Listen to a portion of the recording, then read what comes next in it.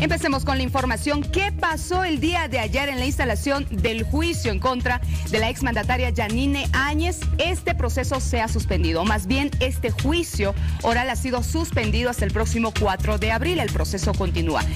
¿Qué ha pasado? ¿Qué es lo que ha sucedido para que se suspenda, para que la justicia tome esta determinación? Problemas técnicos, interrupciones y la descompensación de la ex jefa de Estado han llevado a los operadores de justicia a la determinación de suspender este juicio hasta el próximo 4 de abril.